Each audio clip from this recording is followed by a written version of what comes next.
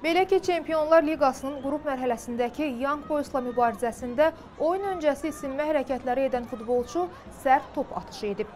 Top mühafizəçi qadına tuş gəlir və zərbənin gücündən qadın yıxılaraq özündən gedir. Məşqini yarımçıq qoyan Ronaldo dərhal qadına yaxınlaşaraq onun vəziyyətini yoxlayır.